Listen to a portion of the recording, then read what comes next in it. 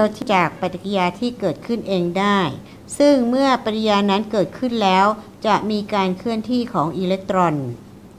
เมื่อมีการเคลื่อนที่ของอิเล็กตรอนแสดงว่าเราสามารถวัดแรงเคลื่อนไฟฟ้าของปฏิกิริยานี้ได้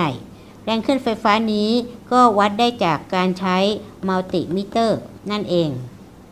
ดังนั้นองค์ประกอบของเซลล์กัลวานิกนี้ก็จะประกอบด้วยอิเล็กโทรด2ขั้ว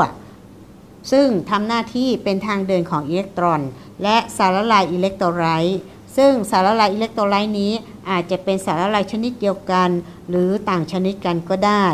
เมื่อต่อครบวงจรแล้ว ก็จะทำให้ปฏิกิริยารีดอกซ์หรือเกิดการเคลื่อนที่ของอิเล็กตรอน เกิดขึ้น การถ่ายเทอิเล็กตรอนในเซลล์กาวานิกส์อาจจะเป็นการถ่ายเททางตรง หรือทางอ้อม กรณีที่เป็นการถ่ายเททางตรงนั้น เราจะไม่สามารถวัดแรงเคลื่อนไฟฟ้าของปฏิกิริยาเคมีนั้นได้ เพราะฉะนั้นเราก็จะต้อง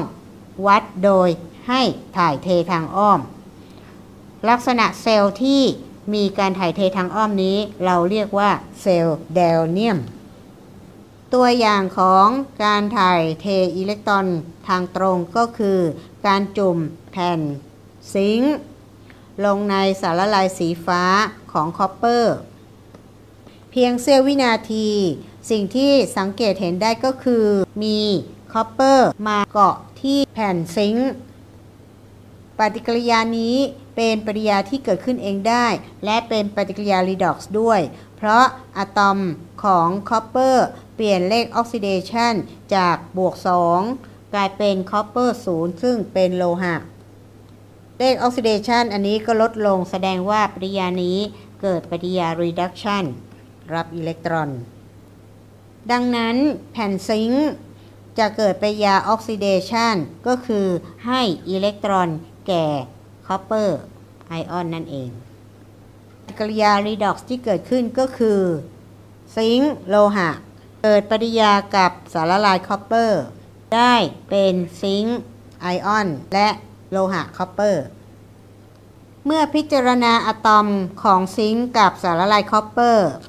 ก็จะเห็นว่าแผ่น zinc นี้มีอะตอมของ zinc อยู่ เมื่อจุ่มลงไปในสารละลาย copper ซึ่งมีสีน้ำเงินอะตอมของ zinc ก็จะเกิดปฏิกิริยาออกซิเดชันที่ผิวหน้า อิเล็กตรอนที่เกิดขึ้นนี้ก็จะมีไอออนของ copper มารับกลายเป็น copper โลหะ เมื่อปล่อยให้แผ่น zinc จุ่มอยู่ในสารละลาย copper นานขึ้นนานขึ้น จะเห็นว่าสารละลายของ copper นี้ก็จะจางลง และแผ่น zinc ก็จะโดนกัดกร่อนไปเรื่อยๆ ลักษณะแบบนี้จะเหมือนกับกระป๋องเป็นสนิม เพราะเหล็กในกระป๋องเกิดปฏิกิริยาออกซิเดชันและในที่สุดก็จะผุพังไป จากเซลล์กัลวานิกที่มีการถ่ายเทอิเล็กตรอนทางตรง เราจึงไม่สามารถ วัดแรงเคลื่อนไฟฟ้าของปฏิกิริยานี้ได้ หากแยกขั้วออกเป็น 2 ส่วนได้แล้ว และต่อให้ครบวงจร เราก็จะเห็นแรงเคลื่อนไฟฟ้าตามลักษณะนี้ เซลล์พวกนี้เรียกว่าเซลล์แดเนียลล์เพราะนั้นเซลล์แดเนียลล์นี้ในขั้วแรกก็จะประกอบด้วยแผ่น zinc จุ่มอยู่ในสารละลาย zinc ส่วนขั้วที่ 2 ก็คือแท่ง copper จุ่มอยู่ในสารละลาย copper ไอออน สารละลายทั้งสองนี้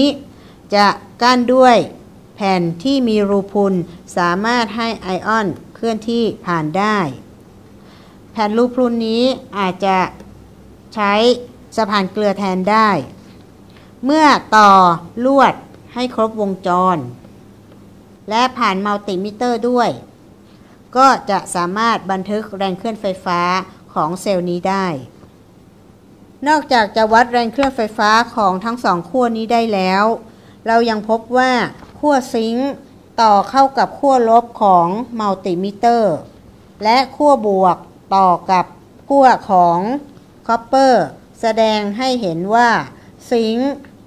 ให้อิเล็กตรอน สื่อความหมายว่าอิเล็กตรอนจะเคลื่อนจาก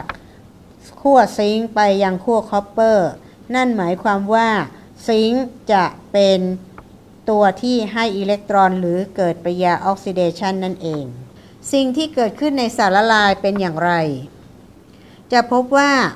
ไอออนบวกไอออนแล้วก็จะเคลื่อนที่ผ่านสะพานเกลือหรือmembrane ตัวนี้ ที่ขั้ว zinc เมื่ออะตอมของ zinc ให้อิเล็กตรอนไป zinc ก็จะละลายออกมาเป็น zinc ไอออน ดังนั้นเมื่อเวลาผ่านไปน้ำหนักของแผ่น zinc ก็จะลดลงเรื่อยๆ ส่วนทางด้านแผ่น copper นี้ รับอิเล็กตรอนเข้ามา สารละลาย copper ก็จะรับอิเล็กตรอนนี้เข้าไปเกิดเป็น copper โลหะ เพิ่มขึ้นเพิ่มขึ้น ดังนั้นเมื่อเวลาผ่านไปทางด้าน copper ก็จะมีน้ำหนักเพิ่มขึ้น นอกจากจะได้แรงเคลื่อนไฟฟ้าของ เซลล์แล้ว เราจะต้องรู้จักคำสองคำคือแอโนดและแคโทดทางด้านแผ่น copper นี้อิเล็กตรอนเข้ามาเป็นประจุบวก เพราะฉะนั้นทางด้านประจุบวกนี้หรือขั้วบวกนี้เราจะเรียกว่าขั้วแคโทด ส่วนทางด้านซิงค์ขั้วซิงค์ให้อิเล็กตรอนไป เป็นขั้วลบ เราจะเรียกว่าขั้วแอนโนด พื่อให้จำง่ายๆ เราก็จะใช้โมโตนี้ก็คือเมื่อไรก็ตามอิเล็กตรอนออกไป จะเรียกว่าปฏิกิริยาออกซิเดชันขั้วปฏิกิริยาออกซิเดชันเรียกขั้วแอโนดก็คือ E ออก R ออกตารางนี้เรียกว่า ศักย์ reduction มาตรฐาน เพราะเป็นการทดลองที่ใช้สารละลายความเข้มข้น 1 โมลาร์และดำเนินการที่อุณหภูมิ 25 องศาเซลเซียส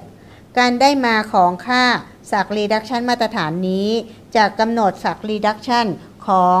กรดโปรตอนได้เป็นแก๊สไฮโดรเจนนี้ถ้าเท่ากับศูนย์จากนั้นก็ต่อกับครึ่งเซลล์อื่นเป็นคู่คู่และหาค่าสัก reduction นี้ออกมา หากสัก reduction นี้มีเครื่องหมายเป็นลบ แสดงว่าการรับอิเล็กตรอนเกิดขึ้นน้อยกว่าเซลล์ไฮโดรเจนนี้ ดังนั้นสัก reduction จึงใช้เป็นค่าที่แสดงความสามารถในการรับอิเล็กตรอนของขั้วอิเล็กโทรดได้ อีกในหนึ่งก็คือแสดงความสามารถในการเป็นตัวออกซิไดซ์นั่นเอง ตัวอย่างเช่น ครึ่งเซลล์ของลิเธียม มีค่า E 0เป็นลบมาก แสดงว่าลิเธียมบวกตัวนี้ มีความสามารถในการรับอิเล็กตรอน หรือเกิดปฏิกิริยา reduction ได้น้อย จึงเป็นตัวออกซิไดซ์ที่อ่อน แต่ครึ่งเซลล์ของฟลูออรีน มีค่า E 0เป็นบวกมาก แสดงว่าฟลูออรีนนี้มีความสามารถในการรับอิเล็กตรอน จึงเป็นตัวออกซิไดซ์ที่แรงมาก ในทางกลับกัน ถ้าเขียนปิยากลับ ซึ่งเครื่องหมายนี้ก็จะกลายเป็นบวกค่า E 0นี้ก็จะกลายเป็นบวก นั่นหมายความว่าโลหะลิเธียมมีแนวโน้มที่จะให้อิเล็กตรอนได้ดีที่สุด ลิเธียมจึงเป็นตัว reduce ที่แรง ส่วนฟูออไรจึงกลายเป็นตัว reduce ที่อ่อนที่สุดนั่นเอง การเขียนสมการ redox ค่อนข้างยุ่งยาก จึงต้องมีการกำหนดแผนภาพของเซลล์แบบย่อ เพื่อใช้ในการสื่อสาร ในการเขียนเซลล์แบบย่อนี้ ก็อาศัยว่า ครึ่งเซลล์ทางซ้ายจะเป็นส่วนที่เกิดปฏิกิริยาออกซิเดชันส่วนครึ่งเซลล์ทางขวาก็จะเกิดปฏิกิริยา reduction ในแต่ละครึ่งเซลล์นี้จะมีขีดหนึ่งขีด เพื่อบ่งบอกว่าเป็น สถานะคนละสถานะ และตรงกลางนี้ก็จะเป็นสะพานเกลือหรือ membrane ซึ่งใช้ขีด 2 ขีดหรือใช้คอมมาก็ได้ การทำนายหรือคำนวณหาแรงเคลื่อนไฟฟ้าของเซลล์ ได้จากสมการของเนินสต์โดยที่ E คือแรงเคลื่อนไฟฟ้าของเซลล์ ส่วน E 0นี้ก็เป็นแรงเคลื่อนไฟฟ้าเหมือนกัน แต่ที่สภาวะมาตรฐาน คำว่าที่สภาวะมาตรฐานนี้ก็คือทำที่อุณหภูมิ 25 องศา และความเข้มข้น 1 โมลาร์ N ตัวนี้ก็คือจำนวนอิเล็กตรอน และคูณด้วยล็อกผลิตภัณฑ์ส่วนสารตั้งต้น หากว่าปฏิกิริยาที่สนใจนี้ทำที่ความเข้มข้น 1 โมลาร์เพราะฉะนั้น reactant ก็ 1 โมลาร์และ product ก็ 1 โมลาร์ ทำให้ล็อก 1 มีค่าเท่ากับ 0 เพราะฉะนั้นที่สภาวะมาตรฐาน เราสามารถหาแรงขึ้นไฟฟ้าได้เท่ากับ E 0เซลล์ E 0เซลล์ก็คือสักไฟฟ้าของปฏิกิริยาออกซิเดชันบวกกับสักไฟฟ้าของปฏิกิริยา reduction นั่นเอง ตัวอย่างการคำนวณค่า e 0เซลล์ซึ่งอันนี้หมายถึงเราจะเน้น ว่าสารละลายทุกทุกชนิดก็จะมีความเข้มข้นเป็น 1 โมลาร์เพราะนั้นก็เลยไม่ได้เขียนลงไป จากค่าตรงนี้ เราก็พบว่าค่า E 0ของ copper เป็นบวก นั่นหมายความว่าปฏิกิริยานี้ชอบจะเกิด reduction มากกว่า ดังนั้นตัว zinc ก็เลยเกิดเป็นปฏิกิริยาออกซิเดชันได้เป็น zinc ได้เป็น zinc 2บวก บวก 2 อิเล็กตรอน เมื่อเขียนสมการกลับค่า e 0ก็จะกลับเครื่องหมาย เพราะฉะนั้นค่า e 0เซลล์ก็จะเป็นค่าศักย์ของออกซิเดชันบวกค่าศักย์ไฟฟ้าของรีดักชันเท่ากับออกซิเดชันก็คือ 0.76 บวกกับรีดักชันก็คือบวก 0.34 ผลออกมาได้เท่ากับบวก 1.1 โวลต์ในหนังสือบางเล่ม อาจจะแนะนำให้ใช้สูตร โดยที่สูตรนี้หรือ e 0เซลล์นี้ก็เท่ากับ e cathode ลบ e anode ในกรณีที่จะใช้สูตรนี้ต้องรู้ว่าขั้วแคโทดคือใคร และก็ขั้วแอนโนดคือใคร จากนั้นก็เอามาคำนวณได้ โดยที่ค่า e นี้คือศักไฟฟ้า reduction ทั้งสองกรณี ตัวอย่างเมื่อกี้นี้ เนื่องจากว่าขั้วของทองแดงเนี้ยชอบรับอิเล็กตรอนได้มากกว่า เพราะฉะนั้นจึงกลายเป็นขั้วบวกหรือขั้วแคโทด ดังนั้นขั้วสังกะสีก็เลยกลายเป็นขั้วแอนโนดแล้วก็แทนค่า e e 0เซลล์เท่ากับ e แคโทดก็คือบวก 0.34 ลบด้วย e แอนโนด e แอนโนดคือลบ 0.76 เท่ากับบวก 0.34 บวก 0.76 ก็ได้คำตอบเป็นบวก 1.1 โวลต์เช่นเดียวกัน เพราะฉะนั้นแต่การคำนวณแต่ละวิธีก็มีความยากง่ายแตกต่างกันเล็กน้อย ข้อสำคัญถ้าหากจะใช้สูตรนี้ ศักย์ไฟฟ้าตรงนี้เป็นศักย์รีดักชันทั้งสองกรณี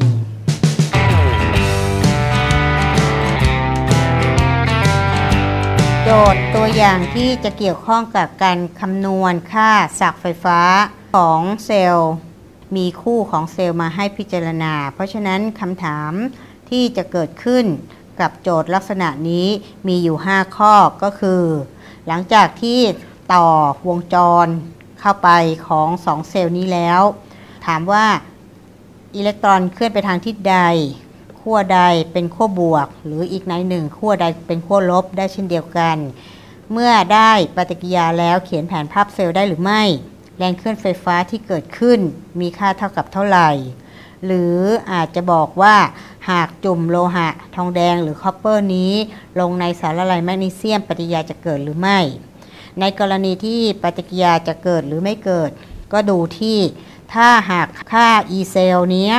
มีค่ามากกว่า 0 หรือมีเครื่องหมายเป็นบวกนั่นเอง ก็แสดงว่าเกิดได้ แต่ถ้าคำนวณแล้วเป็นลบแสดงว่าปริยานั้นเกิดไม่ได้ เรามาดูการตอบคำถามของแต่ละข้อ เมื่อให้ค่าสักรีดักชันมาแล้ว เรา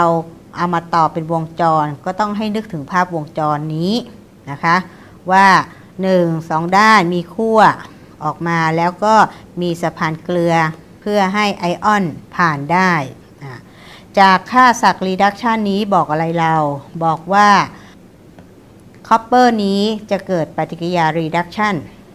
ได้ดีกว่า นั่นหมายความว่าตัวแมกนีเซียม ก็จะเกิดปฏิกิริยาออกซิเดชันแทน2อิเล็กตรอน ค่าศักย์ออกซิเดชันอันนี้ก็คือบวก 2.37 เพราะฉะนั้นเมื่อแมกนีเซียมให้อิเล็กตรอน อิเล็กตรอนก็จะเคลื่อน จากแมกนีเซียมไปยัง copper ขั้วใดเป็นขั้วบวกขั้วบวกก็แสดงว่าอิเล็กตรอนเข้ามา นั่นหมายความว่าก็คือ copper มีขั้วบวก อันนี้มาจากแมกนีเซียมไปยังขั้ว copper ก็ได้คำตอบแล้ว 2 ข้อ ข้อต่อมาคือจงเขียนเซลล์ไฟฟ้าแบบย่อ เมื่อกี้นี้เรารู้แล้วว่าตัวนี้ต้องเกิดปฏิกิริยาออกซิเดชันแล้วตัวนี้เกิดรีดักชันเพราะฉะนั้นแผนภาพเซลล์ก็ประกอบด้วย เซลล์ที่เกิดปฏิกิริยาออกซิเดชันตามด้วยเซลล์ที่เกิดปฏิกิริยารีดักชันเซลล์ที่เกิดปฏิกิริยาออกซิเดชันก็คือแมกนีเซียมกลายเป็นแมกนีเซียม 2 บวก ตัวที่เกิด reduction ก็คือ copper 2 บวก ไปเป็น copper เพราะฉะนั้นคำตอบข้อ 3 ง่ายมาก ข้อ 4 ถามว่าแรงเคลื่อนไฟฟ้ามีค่าเท่ากับเท่าไหร่ ก็หาได้ 2 วิธี สมมุติถ้าเราต้องการ หาโดยใช้สูตร E cell เท่ากับ E cathode ลบ E anode ตัว copper นี้เกิดปฏิกิริยา reduction แสดงว่าเป็นขั้ว cathode อีกตัวหนึ่งก็เป็น anode อ่าแทนค่าได้เลย ก็เท่ากับ e cathode เท่ากับบวก 0.34 ลบด้วย e anode ก็คือลบ 2.37 คำตอบได้เท่ากับบวก 0.34 บวกกับ 2.37 ก็ได้คำตอบเป็นโวลต์ออกมา ข้อสุดท้ายซึ่งอาจจะทำให้นักศึกษางงได้ ว่าถามว่าถ้าจุ่มโลหะทองแดง ลงในสารละลายแมกนีเซียม ปฏิกิริยาจะเกิดหรือไม่ วิธีการเขียนอย่างนี้ก็ต้องดูว่าสารตั้งต้นเป็นอะไรนะคะ ลักษณะนี้ก็คือเขาจุ่มแผ่นทองแดงคือ copper ลงในสารละลายแมกนีเซียม นั่นหมายความว่าสิ่งที่เขาต้องการให้หาก็คือปฏิกิริยาว่ามี copper ซึ่งเป็นของแข็งโลหะนี้ มาทำปฏิกิริยากับแมกนีเซียมไอออน ซึ่งอยู่ในสารละลาย แล้วจะเกิดเป็น copper 2บวกไอออน กับ โลหะ แมกนีเซียมหรือไม่ เมื่อเขียนสมการนี้ได้แล้วก็แสดงว่าเราสามารถเขียนปฏิกิริยาออกซิเดชันได้ reduction ได้ ตัวที่เป็นออกซิเดชันก็คือ copper กลายเป็น copper 2บวก ส่วน reduction ก็ต้องเป็นแมกนีเซียม2บวก บวก 2 อิเล็กตรอน ได้เป็นแมกนีเซียม หลังจากนั้นเราก็หาค่า e cell ก็เท่ากับ e e คาโทดลบ e อโนด สังเกตว่าถ้าหากจำผิด ก็จะผิดไปเลยเนื่องจากการลบไม่มีคุณสมบัติสลับที่ e คาโทดก็คือ e ที่เกิด reduction reduction คือแมกนีเซียมคือลบ 2.37 ลบด้วย e อโนดคือบวก 0.34 ได้เท่ากับลบ 2.37 ลบ 0.34 เพราะฉะนั้นได้คำตอบเป็นลบออกมาบอกได้ทันทีเลยว่าปฏิกิริยานี้ไม่เกิดขึ้น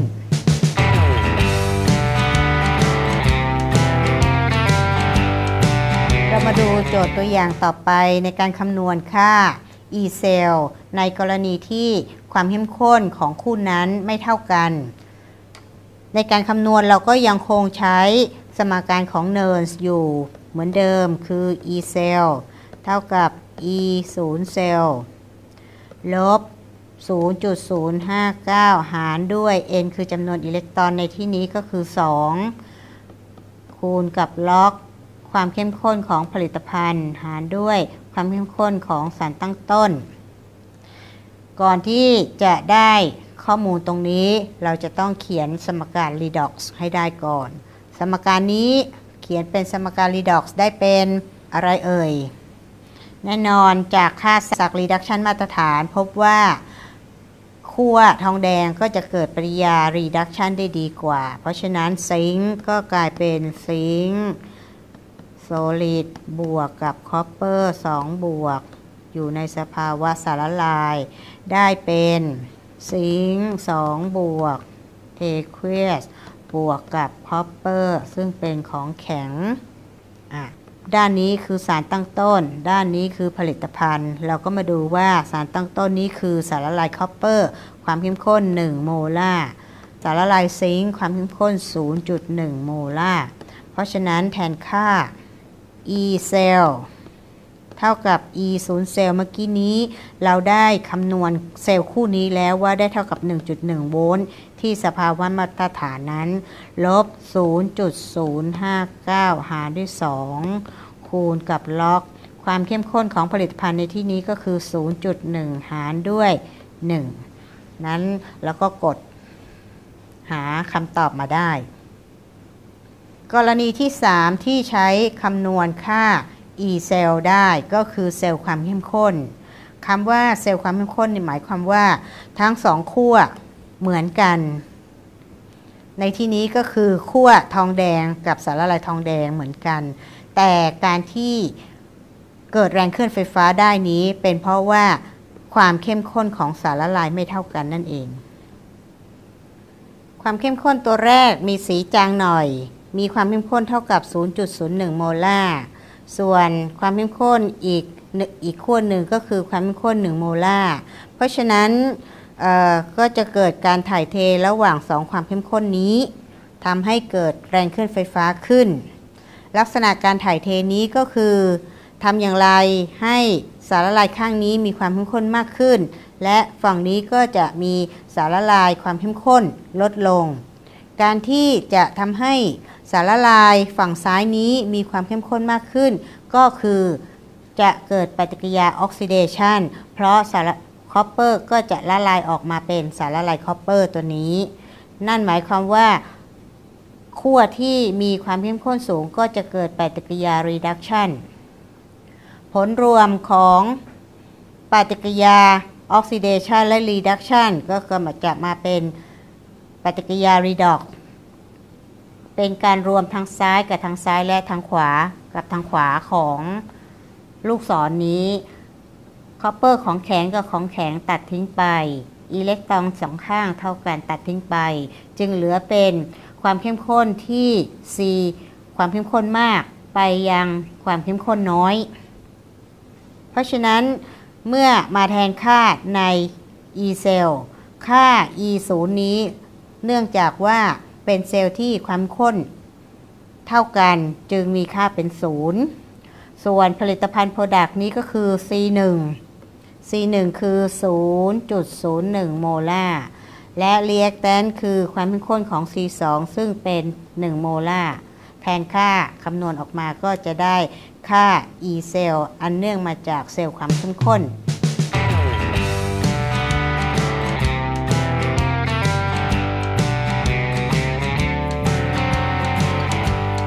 ต่อไปจะกล่าวถึงประโยชน์ของเซลล์กัลวานิกซึ่งแบ่งออกได้เป็น 3 ชนิดก็คือ เซลล์ปฐมภูมิ หรือเซลล์ถ่านไฟฉาย เซลล์ทุติยภูมิก็คือเซลล์ที่เมื่อใช้หมดแล้วสามารถนำมาชาร์จไปใช้ใหม่ได้ และสุดท้ายก็คือเซลล์เชื้อเพลิง ซึ่งเป็นเซลล์ที่ใช้ในยานอวกาศ เซลล์ปฐมภูมินี้อาจจะเรียกอีกชื่อหนึ่งว่าเป็นเซลล์แห้ง หรือ dry cell ถ่านไฟฉาย ลักษณะของถ่านไฟฉายก็คือรอบๆนี้จะมีสังกะสี ซึ่งทำหน้าที่เป็นขั้วลบ ส่วนขั้วบวกก็จะเป็นคาร์บอนทำหน้าที่รับหรือถ่ายเทอิเล็กตรอน ตัวที่จะเกิดปฏิกิริยา reduction ก็คือแมงกานีสและแอมโมเนียมคลอไรด์ที่อยู่ข้างในถ่านไฟฉายนี้ เมื่อปฏิยาเกิดขึ้นแล้วก็จะได้แอมโมเนียและน้ำมา เพราะฉะนั้นหากว่าใส่ถ่านไฟฉายนี้ลงในอุปกรณ์อิเล็กทรอนิกส์เป็นเวลานานๆ เราก็จะพบว่า